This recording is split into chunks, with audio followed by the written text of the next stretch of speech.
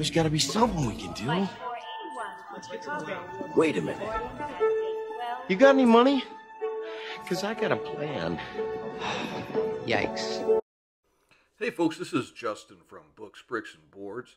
And how many of us GMs out there haven't had an opportunity to play a game on short notice?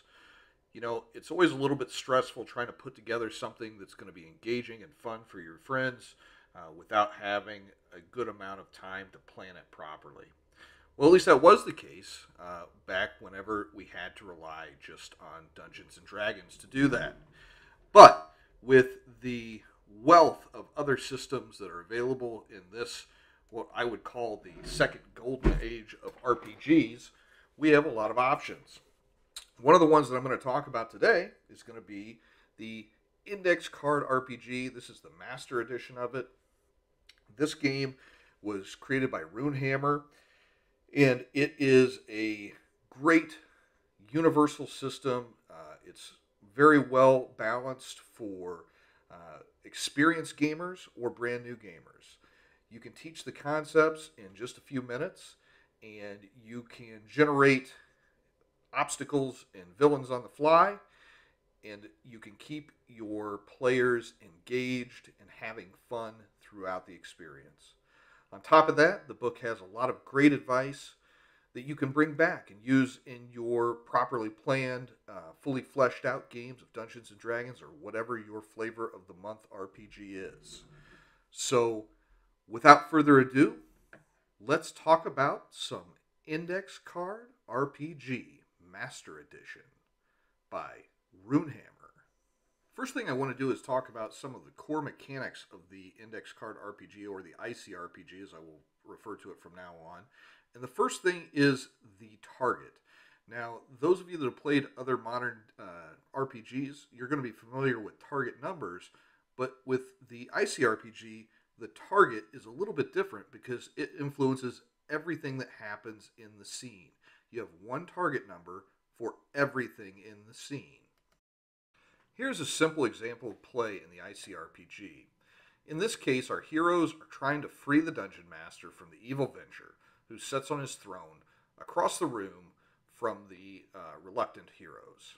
So in the back, we have Hank by the gate, we have Diana by the pit of acid, we have Presto and Eric by the statue, we have Sheila and Bobby and Uni over by the lever. So, in this scene, I would assign this a target of 16. So, in this scene, the target number that they need to roll to be successful to, say, disarm the trap that is on the statue is a 16. If they wanted to hit Venger with an attack, the target number is 16. And if Diana wanted to jump over the acid pit, the target number would be, yeah, you guessed it, 16. Now, I know that that might sound a little bit blasphemous to those of you that have played a lot of uh, Dungeons and Dragons or other RPGs, but keep in mind this keeps the game moving fast and it keeps it very straightforward and not confusing for the players. In the course of the game, they will be doing simple checks, which is a single roll, or they will be doing complex checks, which involves making the simple roll and then doing an effort roll afterwards. Now, effort is a unique mechanic to the ICRPG system. So let's say that the players want to attempt to knock down this statue for whatever reason. That's probably not going to be a one hit kind of action. That's going to be a complex action. So when they do that, they're going to have to roll effort. So they'll roll their normal 16, the target number for the scene, to hit, and then they'll have to roll an appropriate die for whatever tool or skill they're using to knock down this statue. So in the ICRPG, that is the die type that you use based on what you are uh, doing the task with. So if you're doing something with your bare ha- hands, it's probably going to be a D4. If you're using basic tools uh, or a weapon, it's probably going to be a D6. If you're using firearms, it's going to be a D8. If you're using magic or lasers or energy, it's going to be a D10. And if you get a critical, you're going to roll whatever the appropriate die type is plus a d12, and you're going to apply that amount of effort to the number of hearts of the task. Now, the hearts could be a hit point or hit points for an enemy, or it could just be the amount of effort that you have to do to say knock down this statue or pick a lock or whatever the case may be. Each heart represents 10 points of effort that must be utilized uh, in order to defeat that individual task. So, unlike most RPGs where you just roll damage against an enemy when you're attacking him, in the ICRPG, you can actually use a similar system called effort in order to make complex tasks that uh, can actually create a, a, better sense of tension uh, because of the uh, amount of effort that it takes to defeat them. So in this scene, a simple task, a, a base or a uh, yeah simple task, might be jumping over the pit. Diana would roll a single uh, a single check and try to hit the target number in order to do that. But whenever the rogue Sheila is trying to uh, move the lever, maybe that is a more complex action and may require multiple effort rolls in order to be ultimately successful in that task. There is one more bit of information that's important to know regarding these checks, and that is that you can modify the scene target number for easy actions by reducing it by 3, or difficult actions by increasing it by 3. But in general, any actions are going to typically use the standard target number for the scene in question, no matter what it is you're doing. You probably noticed that I was using some cards to represent the different areas of the map in the last section there. And those are actually uh, specially made ICRPG cards that have different pieces of artwork on them, and they can be used similar to like Rory's story cubes to create an adventure on the fly, or you can plan ahead and just use them to represent whatever it is you want your adventurers to be tasked with defeating in your adventure. Of course, we all know that half the fun of any RPG is in the character creation, and in this, ICRPG definitely does not fail. It's got a simple and somewhat familiar system that is just different enough to keep it fresh. So you'll notice that all the character uh, attributes are the same as those found in Dungeons and Dragons strength, dex, con, intelligence, wisdom, and charisma. But instead of rolling an arbitrary number that you'll ignore after you actually establish the modifiers, in this game, you actually just get the modifiers. You get six points to distribute amongst your six scores. You can put them all in one. You can uh, put one in each, or any combination thereof. On top of that, the life form or race that you choose, you're going to uh, get some extra points for that as well. And then you're going to be able to distribute four points into the various dice of effort based on what kind of tasks that you are doing. There are no classes in ICRPG, but that's kind of a name only sort of thing because there are types which fill the role of classes uh, only in minor ways, though. They're not nearly as restrictive or boxing in as a class is. Uh, you can still pretty much do anything you want just with a few simple options. And a creative GM can easily create anything that is not represented in the available classes in the existing Master Edition of the ICRPG book. Because the session I'm going to be running on short notice this weekend is going to be a fantasy campaign, this represents a character using the Alfheim uh, rule set. The uh, standard ICRPG book comes with full uh, full settings for Alfheim, Warp Shell, Ghost Mountain, Vigilante City, and Blood and Snow. Those uh, respectively represent the genres of fantasy, space opera, Weird West, supers, and cavemen. Yes, that's right, cavemen each one of these different uh, worlds has a uh, somewhat fleshed out and interesting story to go along with the different areas. It gives you a very good starting point to have a campaign or a one off game. It also gives some specific rules for playing in those settings. For example, in Vigilante City, it goes over the rules for having superpowers, and in Warp Shell, it goes over some more of the technological and vehicle related rules giving you a good base for anything you want to design from there. I mentioned earlier about how easy it was to design an adventure on the fly with this system, and a lot of that boils down to the ease at which you can create obstacles and enemies. This is all it takes to create an enemy stat block. You need a number of hearts. Each heart is worth 10 hit points.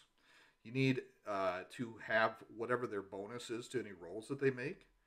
And then you can add some actions or traits that give them some specific and interesting abilities. For example, you might give a dragon uh, fire breathing. The book itself has a uh, very nice bestiary with some variety of creatures from different genres. and one of the interesting things about it, because it's very stat light, it's very easy to reskin these for a different uh, purpose. For example, uh, you could take one of the undead uh, that has, uh, like the Banshee. Uh, the Banshee's scream, you could easily reskin that uh, to be an alien because the Banshee has claws, the alien has claws. Um, the Banshee has a scream effect that damages the psyche of the uh, the enemy. It could be a psionic attack for the alien, and the character or the uh, the players are going to be none the wiser, and it's just going to fit because it is such a simple system to run enemies, but yet it is still deep enough to have some crunch there.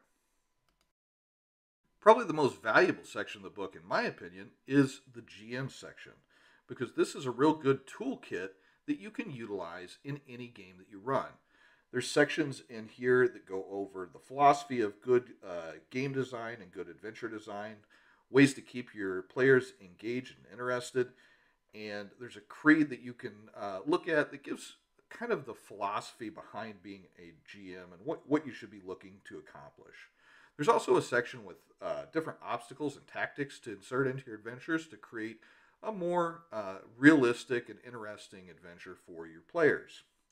Lastly, there is a section that is specifically about borrowing rules or chunks of rules from this RPG to utilize in different RPGs to make them seem fresh and interesting and just to uh, clean up some of their clunkier spots. For those of you that aren't satisfied with a simple magic system that just involves a few spell lists, there's also a alternative spell system in the back under the section titled Magic. And with that, you're going to have the option for uh, mercurial mishaps, making da- uh, magic dangerous and strange. Uh, there's going to be the option to create spells as well as a, whole other list of additional spells. And there's going to be some specific loot that is related to pursuit of the magical arts. If you're going to be running a uh, campaign with a lot of in-depth magic users, this would be the route to go. But otherwise, the one that is shown in the Alfheim section is going to be suitable for most. At the end of the book, there's an absolute plethora of tables that are useful for your game, whether you're playing a space opera, a fantasy game, a Weird West game, or anything in between.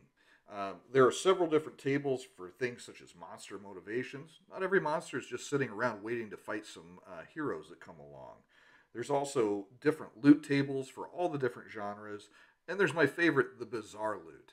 This is actually the back of Presto's character sheet because in the, the one-shot adventure that I'm going to be running, that is going to be the effect of Presto's hat. They're going to be able to draw a random piece of bizarre loot and see what happens just like in the animated series. It probably isn't going to be all that useful most of the time, but with a creative set of PCs, maybe they can come up with something that's going to be exactly what they need to save the day. Now, on top of the 400 and some odd page uh, book that you get with the master edition of the ICRPG, if you buy the PDF copy, you also get a couple more files, one of which is 160 ish pages of adventures now, given that this is a low uh, stat block, uh, simple rule system, the adventures don't take very many pages, but they're all well written and engaging. And I'm actually going to be using a modified version of one of these this weekend for my one shot for my players. And here are some final thoughts on the ICRPG. This game is well designed it's clear that the author has a love for RPGs in general, and he wants to just add and make the community better overall. Even if I wasn't going to ever use this as an RPG itself, the book would be worth it just for the tools and the philosophical comments that Runehammer gives us in this. Now, if you are going to be playing this, I think there's a lot of meat on the bones here, and you could potentially run long campaigns in several different genres. And I think your players are really going to appreciate the familiarity and also the ease of entrance and the, the quickness of play represented by this game system. So if you're looking for a D&D alternative, try out the ICRPG. Until next time, this has been Justin with Books, Bricks, and Boards. Good gaming, and God bless.